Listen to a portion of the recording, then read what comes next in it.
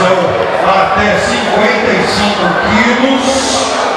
Previsão 3 rounds de 2 minutos. Muay Thai Amador. Arbitragem fica por conta de Miara